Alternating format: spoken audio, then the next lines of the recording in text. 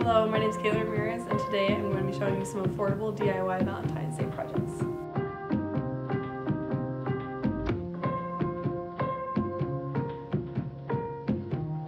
a Ziploc bag and I used a Sharpie and drew hearts or I wrote love or a big heart on and then I cut the top Ziploc part off and filled it with suckers.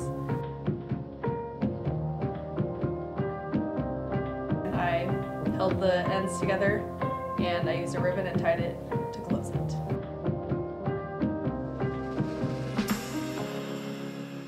So you'll take the jar itself and um, glue on some jewels, put the stickers on, make your love jar, and then cut out little strips out of your paper. Write whatever love notes and stuff you want to.